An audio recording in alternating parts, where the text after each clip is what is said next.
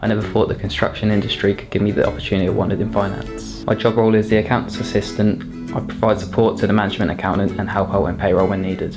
I started my career by applying for a role as an assistant accountant where I've completed my apprenticeship and I'm still currently learning AAT, which is a professional qualification for accountancy. Going for an apprenticeship has given me more experience and the upper hand when applying for jobs. Day to day, I check the company bank accounts, complete cash books and raise sales invoices.